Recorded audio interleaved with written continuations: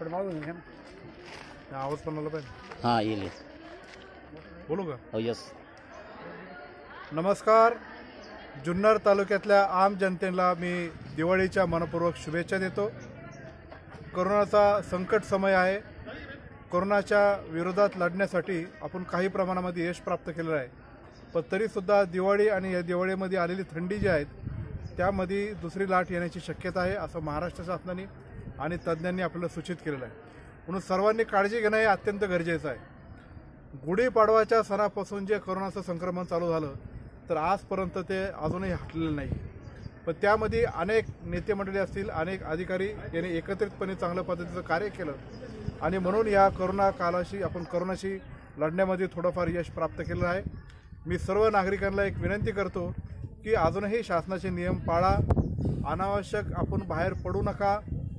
आपल्या कुटुंबाच्या आपल्या गावकऱ्यांची आपण सर्वांनी काळजी घ्यावी आपलं आरोग्य चांगलं राहावं अशीच मी त्या ईश्वरचरणी प्रार्थना करतो.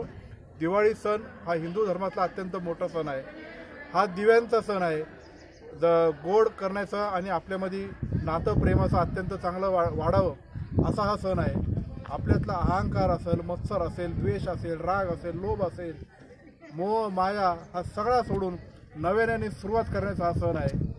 जेव्हा रामाने अपप्रवृत्ती लोकांवर विजय मिळवला तो दसराचा सण आपण साजरा करतो आणि चौदा वर्षाचा वनवास भोगल्यानंतर राम भगवान हा पुन्हा एकदा त्याच्या राजवटीमध्ये रुजू झाला आणि तेव्हापासून ती खरी दिवाळी आणि आनंदाचा सण हा चालू झाला. म्हणून नवीन सुरुवात करायची आहे.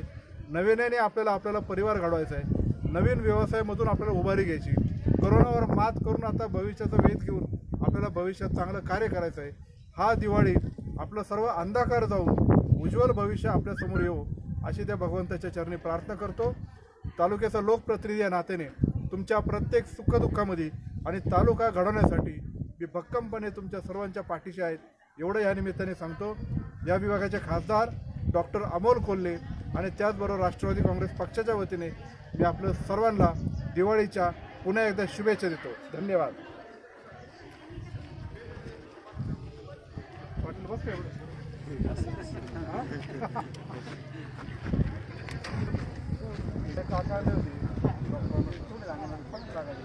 बरोबर.